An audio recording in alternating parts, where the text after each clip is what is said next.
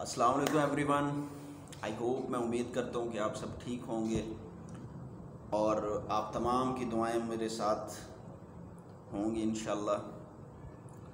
اور تمام جتنے بھی ویورز ہیں ان کو میرا السلام. اور ایک چھوٹی سی ریکویسٹ کہ میرے چینل کو سبسکرائب کرنا مت بھولیے. نیچے بیل کے جو آئیکن ہے اسے دبانا مت بھولیے اور سبسکرائب کے بٹن کو دبانا مت بھولیے. تاکہ میری نئی آنے والی ویڈیوز آپ تک پہنچ سکیں۔ میں اپنی ویڈیو کا آغاز کرتا ہوں۔ آج ہماری جو ویڈیو ہے، وہ ہے اے گڈ ہیپی مین آپ ایک خوش آدمی کیسے رہ سکتے ہیں؟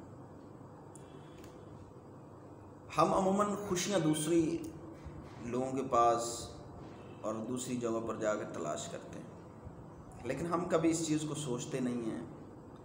کہ جو خوشیاں ہوتی ہیں وہ خریدی نہیں جاتی، نہ خوشیوں کو بھی لمحات ہوتے ہیں۔ خوشیوں کے لمحات آپ ہر لمحے ہی خوش رہ سکتے ہیں اور اس کی ایک ہی وجہ ہوتی ہے کہ وہ آپ کیسے خوش رہ سکتے ہیں۔ خوشیاں حاصل کرنا کوئی اتنی مشکل سی بات نہیں ہے۔ جو اتنا بہت بڑا کوئی جو نا وہ جنگ کا میدان نہیں ہے کہ آپ خوشیاں حاصل کریں۔ آپ جس بھی جگہ پر بیٹھیں اسے اچھا انجوائے کریں۔ خوش رہیں۔ خوش تبھی رہ سکتے ہیں جب آپ اچھا انجوائے کریں گے۔ اور کبھی بھی یاد رکھیے گا، جب آپ جس کام میں ہوں ڈیوٹی پر ہوں، کسی بھی جگہ پر ہوں، جہاں پر آپ ہوں، آپ اسی کے سٹائل میں، اسی ماحول میں گھل مل جائیں۔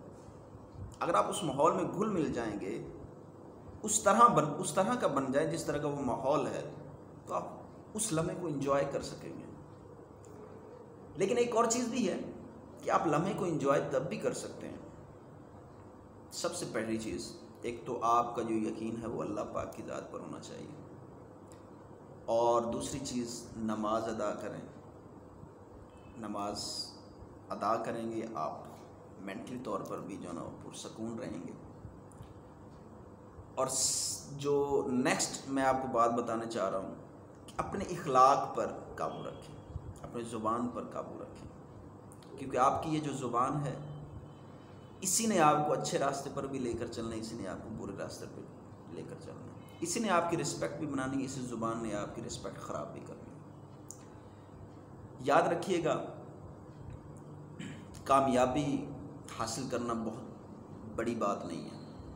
اس کامیابی کو سٹیبل رکھنا بہت بڑی بات ہے۔ کامیابی آپ محنت سے حاصل کر لیں گے، لیکن اس کامیاب پوزیشن کو برقرار رکھنا آپ کے لیے سب سے مشکل اور بہت مشکل کام ہے۔ اس کامیابی کو اگر آپ برقرار رکھنا چاہتے ہیں، تو ہر لمحے کو آپ بہتر طریقے سے گزاریں۔ اچھی رسپانسبلٹی سمجھ کر گزاریں۔ اگر اب میں اب آپ کو مثال دیتا ہوں، اگر آپ ڈیوٹی پر جاتے ہیں، تو آپ ڈیوٹی میں اپنا ڈیوٹی ورک کریں اور اس میں آپ فل انجوائے کر کے ڈیوٹی ورک کریں، تبھی ہو سکتا ہے۔ جب اسے آپ برڈن نہ سمجھیں، اسے آپ بوجھ نہ سمجھیں۔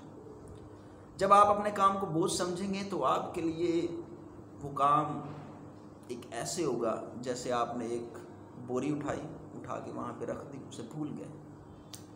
پھر دوسری بوری اٹھائی، اسے اٹھا کے رکھ دیا، پھر بھول گئے۔ اس کا آپ کو معاوضہ مل گیا۔ آپ نے کر لیا۔ ایسی جو کام ہوتا ہے، ایسا جو کام ہوتا ہے، جو ایسا کام کیا جائے گا، وہ ایک پرفیکٹ پرسن کی میں نہیں آپ بن سکتے۔ کبھی بھی آپ پرفیکٹ پرسن نہیں اس میں بن سکیں پرفیکٹ پرسن تبھی بنیں گے۔ آپ جو بھی کام کریں، اسے کبھی چھوٹا نہ سمجھیں۔ کریں لازم۔ آپ کو ایکسپیرینس حاصل ہوگا۔ اگر آپ اس کام کو چھوٹا سمجھتے ہیں اس کام کو آپ یہ سمجھتے ہیں کہ میری یہ شخصیت سے نیچے ہے اس میں میری شخصیت گر جائے گی، تو یہ آپ کی سوچ ہے۔ کیونکہ دنیا آپ کو کچھ نہیں کہے گی۔ کب تک؟ جب تک آپ خود فیل نہیں کریں گے۔ آپ کے اندر بیٹھا ہوا انسان ہی آپ کو اچھا بھی کہے گا اور برا بھی کہے گا۔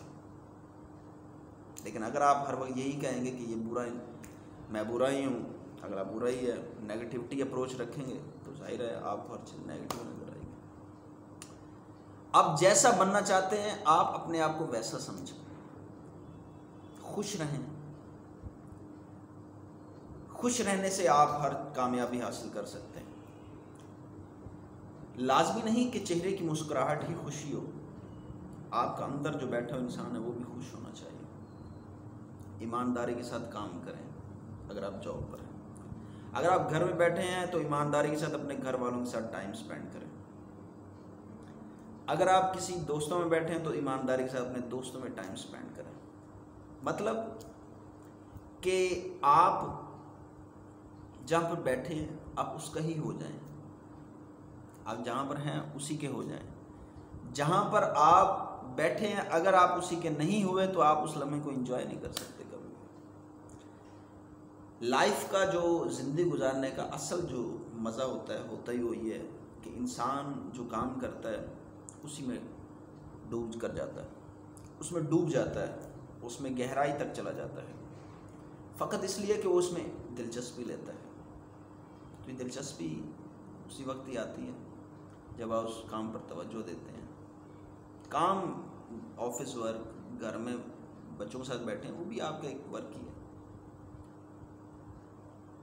تو اس لیے ایک اچھی اور خوش اخلاق انسان کی مثال میں یہی دوں گا کہ اچھا اور خوش اخلاق انسان کامیاب ہوتا ہے۔ اور کوئی یہ کہے کہ وہ کامیاب نہیں ہوتا تو یہ غلط کہتا ہے۔ تو اچھے اور خوش اخلاق انسان کی یہی مثال ہے۔ آپ جس جگہ ہوں ویسے ہی ہو جائیں۔ جس ماحول میں ہوں آپ ویسے ہی ہو جائیں۔ میں اس کی مثال آپ کو دیتا ہوں۔ حضرت علی کرم اللہ وجہ سے ایک یہودی نے آ کے سوال پوچھا۔ کہ میں ایک جگہ پر بیٹھا ہوا تھا تو میں دیکھ رہا تھا کہ ایک ماں کے ساتھ بچہ انگلی پکڑ کے جا رہا تھا۔ تو بچے نے اچانک انگلی چھڑوائی اور بھاگ رہا بھاگ رہا۔ ماں اس کے پیچھے بھاگ رہی ہے۔ بچہ آگے بھاگ رہا۔ ہے یہاں تک کہ ماں نے دیکھا کہ وہ بچہ کنویں کی جانب جا رہا ہے۔ بچہ رک نہیں رہا تھا۔ تو ماں وہیں پر بیٹھ گئی، رونے لگ گئی۔ تو بچے نے جب دیکھا میری ماں بیٹھ گئی اور رک گئی ہے، تو بچہ بھی وہیں پر بیٹھ گیا اور رک گیا تو وہ یہودی کہتا میں دیکھتا رہا کہ ماں دوبارہ کھڑی ہوئی، بھاگی، بچہ پھر کھڑا ہو کے دوبارہ بھاگنا شروع کر دیا۔ تو ماں نے جب یہ دیکھا کہ بچہ میں بھی بھاگ رہی ہوں، وہ بھی بچہ بھاگ رہا ہے آگے سے، تو ماں کو بہت درد ہوا۔ ماں ہے نا، ماں ہے۔ تو ماں کو بہت جو ہے نا وہ تکلیف ہوئی کہ میرا بچہ کہیں کنویں میں نہ گر جائے۔ تو یہودی نے کہا کہ میں یہ سارا ماجرا دیکھ رہا تھا، تو میں نے یہ سوچا کہ انہیں اس کا جو ایک بہتر حل ہے، وہ حضرت علی سے لیا جائے۔ کیونکہ کہا جاتا ہے حضرت علی علم کا خزانہ ہے۔ تو انہوں نے کہا، چلو آج ایک امتحان ہی لے لیا جائے۔ تو حضرت علی کے پاس گئے اور یہ سارا واقعہ سنایا جب تو حضرت علی نے بڑے سنہرے الفاظوں میں جواب دیا۔ بات کو سمجھیے گا۔ حضرت علی نے کہا کہ اس بچے کی عمر کیا تھی؟ یہودی نے کہا، تین سال۔ حضرت علی نے کہا اس کے سامنے تین سال کا بچہ ہی لے کے چلے جاؤ۔ دیکھنا وہ کیا کرتا ہے۔ بڑی غور کرنے والی بات ہے۔ یہودی نے ایسے ہی کیا تین سال کا بچہ لے گیا وہاں پر۔ اس نے دیکھا کہ وہ بچے نے جب اس بچے نے تین سال کے بچوں کو دیکھا تو وہ اس کی جانب بھاگا۔ اس کی جانب بھاگا۔ تو مطلب کہنے کا یہ ہے کہ اگر آپ جیسا بننا چاہتے ہو تو آپ انہی کی محفل میں بیٹھو۔ اچھا بننا چاہتے ہو تو اچھے لوگوں کی محفل میں بیٹھو۔ بڑا بننا چاہتے ہو تو بڑے لوگوں کی محفل میں بیٹھو۔ اگر امیر بننا چاہتے ہو امیروں کی محفل میں بیٹھو۔ اگر جاب لیس ہو جاب ڈھونڈنے والوں میں جانا چاہتے ہو، اس فہرست میں شامل ہونا چاہتے ہو جاب پرسنس کے ساتھ بیٹھو۔ اگر آپ پازیٹیوٹی مائنڈ بننا چاہتے ہو تو پازیٹیو لوگوں کے ساتھ بیٹھو۔ اگر آپ فلاسفر بننا چاہتے ہو تو فلاسفر لوگوں کے پاس بیٹھو، جن کے پاس علم ہو۔ مطلب یہی کہنے کا کہ جو بننا چاہتے ہو، اسی ماحول میں بیٹھو۔ جب اس ماحول میں بیٹھو گے تو خود بخود ویسا بنو گے۔ تو اس لیے میں آپ کو یہی مثال دوں گا جو میں نے حضرت علی والی مثال دی آپ کو اس کے لیے۔ کہ جیسا آپ کرنا چاہتے ہو، آپ انہی کی انہی کی ایک کلاس کو اٹینڈ کرو۔ آپ جن جیسا بننا چاہتے ہو انہی کی صحبت میں آ جاؤ تو آپ انہیں جیسا بن جاؤ گے۔ اسی اللہ پاک ذات کی دعائیں ہوں آپ کے اوپر۔ اور تمام ویورز کو میرا دوبارہ سلام۔ اور دوبارہ میں یہ کہنا چاہوں گا، میرے چینل کو لازمی سبسکرائب کریں تاکہ ہر نئی آنے والی انفارمیٹیو ویڈیو آپ تک پہنچ سکے۔ جزاک اللہ۔